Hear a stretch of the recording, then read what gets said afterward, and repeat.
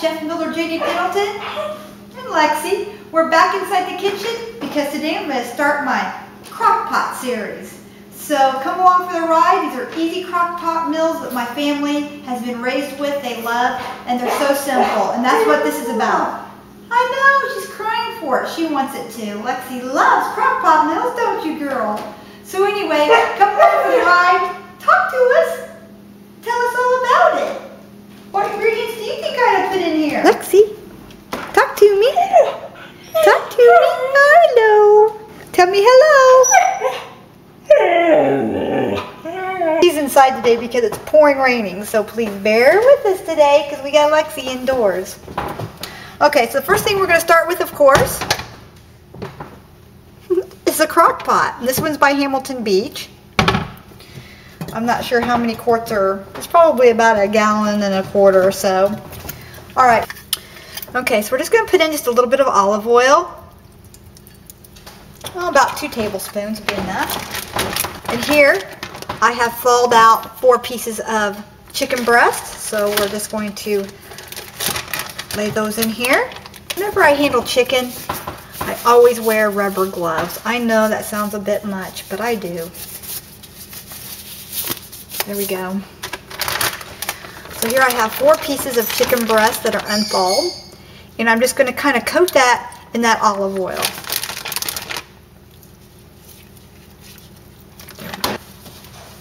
All right.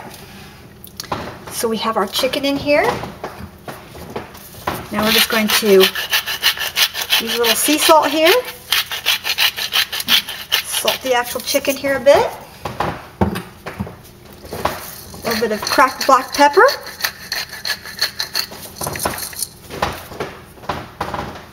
Of mushroom soup, okay? You can make your own. You do not have to use the canned stuff. You can even use reduced sodium or even the reduced fat version. That's fine. I usually make my own, but I'm trying to use up the last of my cabinet of food storage. I've replaced all of my food storage with home canned goods. So I now have one cabinet of canned goods left. So you can do this. You know, don't let the food Nazis out there make you feel guilty for whatever you're using. Just use what, what you feel you want to use. Do what you got to do.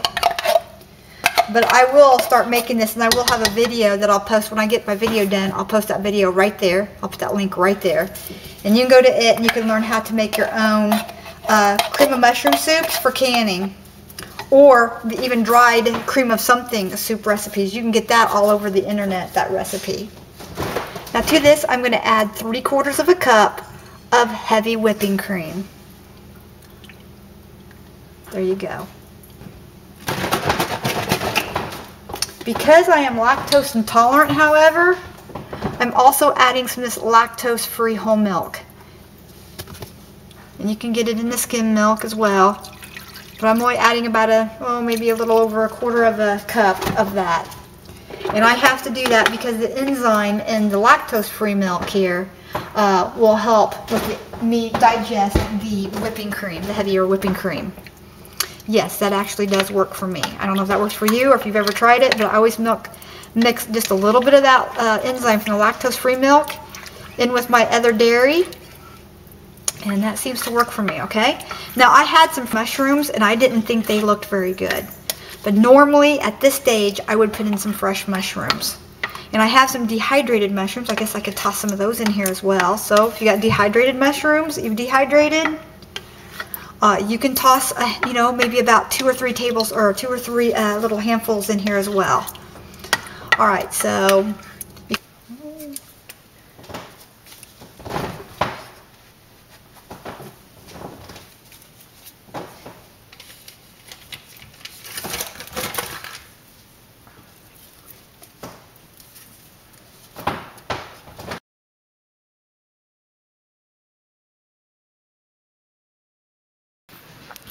Okay, we're back. I've already been eating mine and mixed mine with mashed potatoes. Sorry, I forgot to film it. so anyway, go ahead and tell me, kick a bite and tell me what you think. Mmm. Is that good? It's very good. The chicken's very tender, and it's very flavorful. Yeah, and we and we put this over mashed potatoes. I, very good. And of course, I just served it here. This is a quick night. We we stayed up till six o'clock in the morning, uh, fall cleaning the house, didn't we? Yep. So Daddy let me take a little first shift nap uh, while this cooked. That's why I broke out the slow cooker. and um, so we're just eating on paper plates and making it simple tonight. Cheers. Even even Stinker over there is tired. She tried to keep up with us, didn't you, Lexi? I just We're gotta. drinking- We're drinking a drink from the foundations of creation. Oh. Water was here at the beginning.